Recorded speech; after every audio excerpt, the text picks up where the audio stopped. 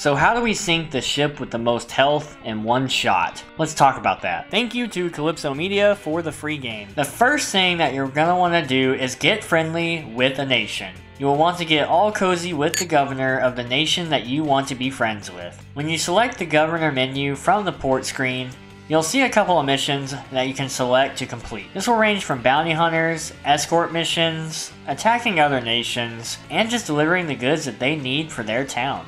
On the right side of the menu, you will see a number 0 through 5. This will be the reputation with the nation. You only have to be 3 out of 5 for the best cannons. You do not have to be 4 out of 5 or 5 out of 5. Once you're friendly with a nation, you'll want to go to a cannon caster to get your cannons. Also keep in mind that the Carpenter Harbor Master is where you can select your deck tiers, which is how you get more cannons. When you scroll over your cannons, you'll see that there are a number of cannons this can be 5, 6, 7, and it goes all the way up to 11 with the War Galleon. The number of cannons times our damage per cannon will result in our maximum damage.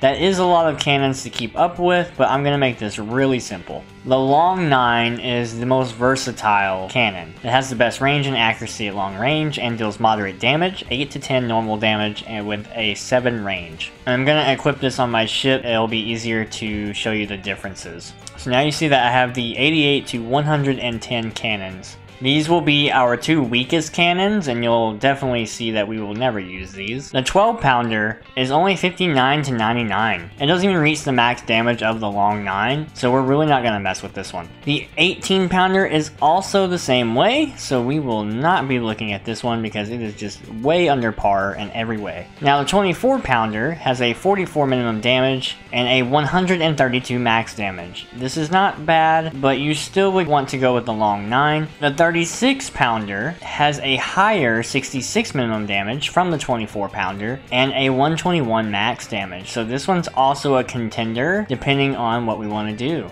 Now this 42 pounder here has a 77 minimum damage right under the 88 and 110 max damage. And so you're probably wondering why would we ever use this because these both are long range cannons but the long 9 obviously does higher minimum damage so what's going on there? What's the difference between long 9, 36 pounder, and 42 pounder? It just comes down to weight. The long 9 has 66 weight. That's where the 36 pounder and 42 pounder come in because the 36 pounder is only 44 weight and that 42 pounder is 55 weight. The long 9 is the best choice for long range combat and of course when we have our skills, which I'll show you in a moment, enhances our long range combat even more so it's just highly versatile. And then we have the Carronade, only 55 minimum damage, but it has a possibility of 143 max damage with a crit hit, so like that's crazy. But is it worth it hitting the low 55 number? Well, we'll find that out. If you're gonna go for short range, I recommend the Carronade. That's the best for range 2, 3, and 4.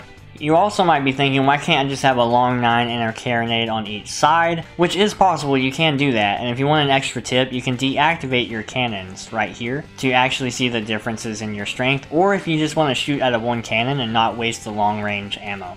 But if you try to shoot both, you're most likely missing with one of them. So if you're gonna go with two different cannons, at least put two long 9s on one side and then two carronades on the other side. We will see how they are different and I'm also going to show you some pretty good skills to use to enhance your combat. So now I am parked next to a ship of the line and I have the carronade on him since this is short range. I have activated precise instructions. At level 3 this enhances 30% of your damage. The carronades have a minimum damage of 55, which is now enhanced to 71 with that precise instruction skill. Highly recommended to get it because 30% damage increase is crazy. When an enemy ship is selected, you'll also see their layout at the top right. You can hover over that red spot to see how many health points they have, and Ship of the Line has 160 here, which is one of the highest in the whole game. The reason I'm pointing this out is because if we can sink this ship in one turn, you can pretty much sink anything you want. Now Lucky Shot just guarantees the hit. Now keep in mind that this ship of the line has 160 health, but the armor around it adds even more. So we can't just do 160 damage, we have to do a lot more than that to even hurt it. And the Carronade does not even come close with the 71 minimum damage and 185 top damage. However, if we have the Armor Piercer skill leveled all the way up, that does double damage, which raises us to 142 minimum damage and a whopping 370 max damage with full crit hit. Now the amazing thing about this is that it has a high chance to sink the ship in one turn. However, the ship does have 160 health, which gives us 18 points of health that we might not destroy in one turn. Now, Armor Piercer is supposed to automatically crit as well, so we did get a really good shot here. Sank the ship of the line that we were targeting with 160 health right through the ship, and we even damaged the other ship of the line since it was in the line of fire. Now, that was with the Carronade increased by the Precise Instructions and Armor Piercer skills. Now, let's try again, but without the Precise Instructions skill, so that we don't have that 30% increase of damage. As we did the Armor Piercer skill here, here to at least get through the armor. We only did the 141 damage. Still a pretty dang good shot, but did not sink in one turn. It has the chance to, but most likely you're not going to do it.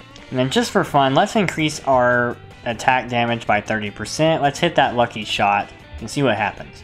Does an insane amount of damage unfortunately goes to the armor and then the health. Even if you don't have that armor piercer skill, you're still going to do a ton of damage with the precise instructions increase and the lucky shot. Now we're going to do my favorite, which is the long 9. With the long 9, we have that 88 minimum damage, which of course is not going to affect the ship of the line health yet. I'm not going to buff my damage at all and just do the lucky shot how it is with that 88 to 110 damage. With that lucky shot for that automatic crit, we still did a lot of damage, about 200 damage. Unfortunately, this is the ship of the line we're talking about, and we're trying to sink it in one turn.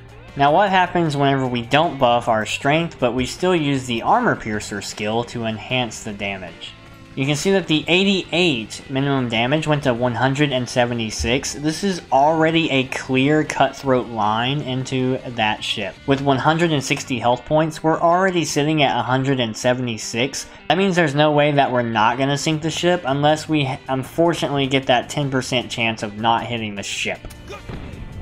And there you go, it sank just like a bowling ball. It gets even crazier though, because remember, I didn't even buff this with my 30% attack strength. Now that I have a 30% increase, I already do 114 damage. We activate the armor piercer, and that's already 228 direct health point damage. Unless you are in-game where your enemy ships may have a level 3 frame or level 3 tier, 228 is going to sink pretty much any ship in the entire game. Use the Long 9 or use the Carronade. But don't forget about those buffs. Now that we've talked about how to get the best out of your cannons, check out this video to see what you can do for your upgrades on your ships.